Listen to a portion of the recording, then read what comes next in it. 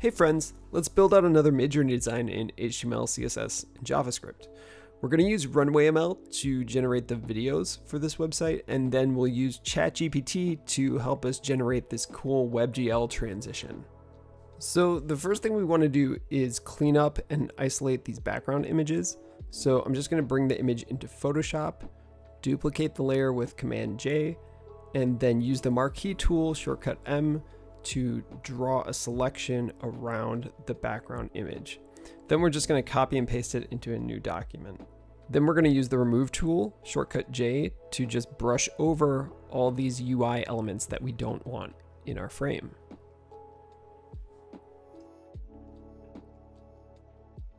Then we're going to go into image size, which is Command Option I for the shortcut, and just adjust the pixel size to whatever size you want your video to be. Then we're just going to save it out and do the same thing to the other header background. And then again for these little square images at the bottom as well.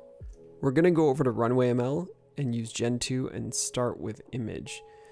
You can just drag and drop your image in here. There are also other parameters you can adjust like the camera motion controls, but we're just going to leave it as is and hit generate. So this looks pretty good. We're going to go ahead and download this to our desktop and then go ahead and do the same thing for all the other images in our design. So generate videos out of those.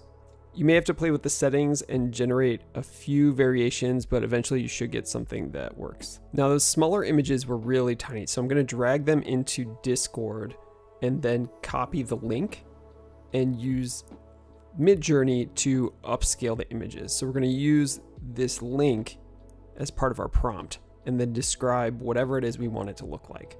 So here I'm just going to say aliens walking through a crystal world and use that to generate a larger image that we can then use in Runway ML for generating a video. So we'll save that to desktop and we can go ahead and do the same thing for the other images. One other feature I wanted to point out is they added this vary region button, which allows you to inpaint and select a region of the image that you want to edit. So you can go ahead and prompt that region. Then we just bring those back into Runway ML and generate videos out of them. So I find when asking ChatGPT for code, it's best to break things out into sections. So we're first going to ask ChatGPT to generate a JavaScript function that creates a video element, and we're going to specify attributes of that element. So then we just go and update the URL to our video and test it out and it looks like it's working.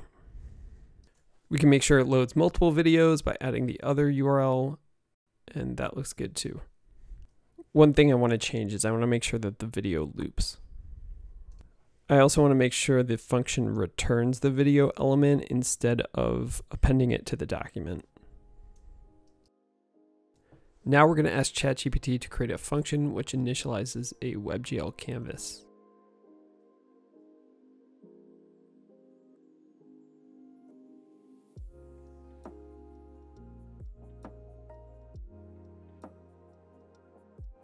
Next, we're going to ask for a function that draws the video onto the WebGL canvas. Then we just copy and paste it into our JavaScript. And then we're going to initialize our WebGL canvas outside of the asynchronous load video call. And then we're just going to go back in and after our videos are loaded, we're going to call our draw video on canvas method passing in the first video of the video elements array.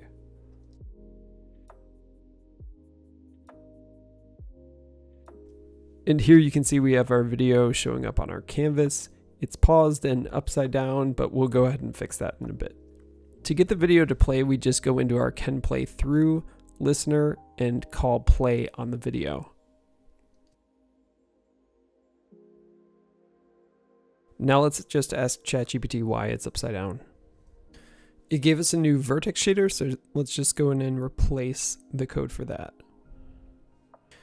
Cool, and now it's animating. So next let's go ahead and fix the size of it. First I'm gonna make our canvas variable global so that we can access it throughout the application.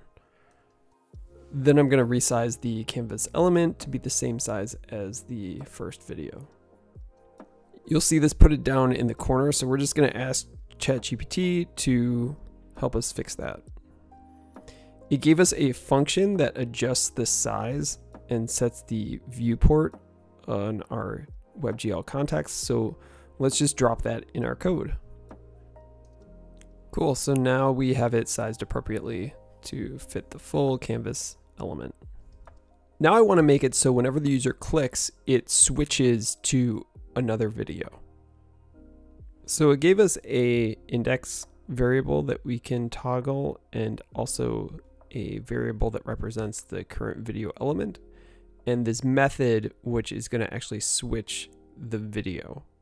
Then I just do some cleanup by moving our videos array to the top and cleaning up the method where they referenced a video sources array and just renaming that to videos.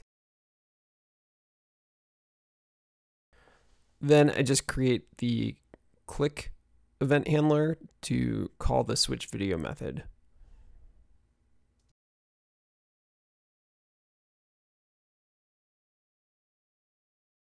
So now whenever we click the window, it'll toggle between the two videos. So there's some improvements we can do to the code that ChatGPT wrote. What, one thing I want to do is make sure that it's not creating a new video element every time we toggle the video. So let's go ahead and remove that. Then in our animation loop, I'm going to create a variable for our current video, which references the index within the array. And then we're just going to make sure that we're drawing the image 2D of that video, of that variable.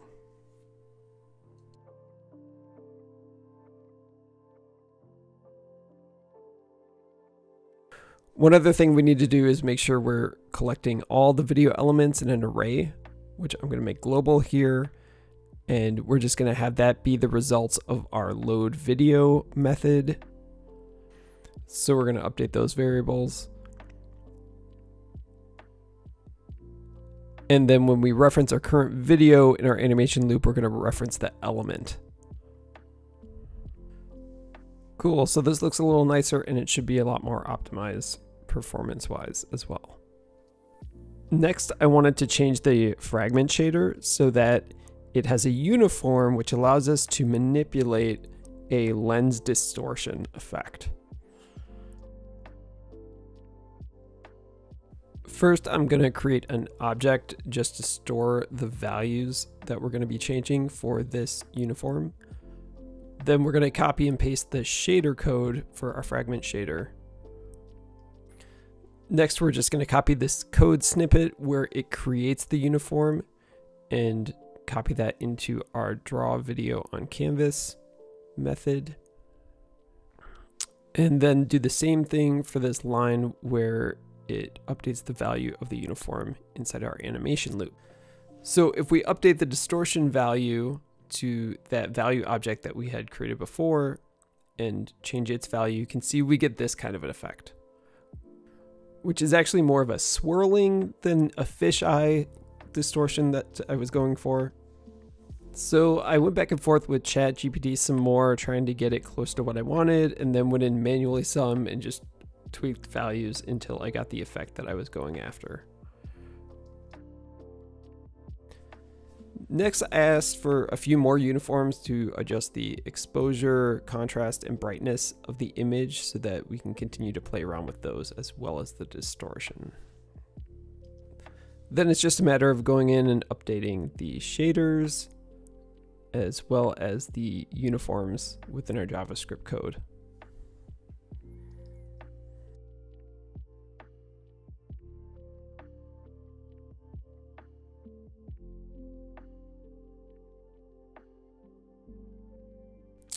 So now we should be able to animate these values and see them change within our video. Next, I want to be able to easily animate these values, so I'm going to ask ChatGPT to create a tweening class that I can use to animate various values. We could use the library like GSAP, but I'm trying to go no library here and just get it all done with ChatGPT. I wanted to be able to pass in different linear interpolation methods for different kinds of easing. So I made sure that it included this as well. Then I just ask it for all of the easing equations that I could use with it. So then I just copy all this code, create a tween JavaScript file, and paste it all in. So now we can test out our tweening class on one of our values.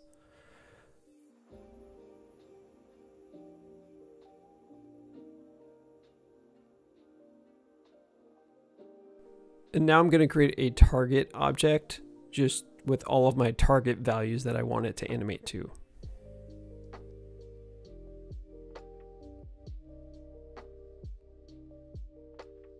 One last bit of functionality I need is a callback method here so that we know when the tween is completed. So we can just go through and update our tween to call our callback and then just go through our tween, tween class to add the callback method as well when everything is finished. Then what I want it to do is actually switch the video each time the tween completes and animate the values back in. So we're going to do this all on click.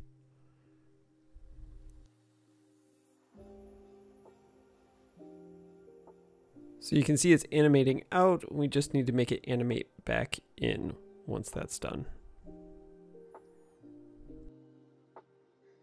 I forgot I was using animating the actual values themselves. So we need to have an initial values object and then the values that we're going to animate will be a copy of that.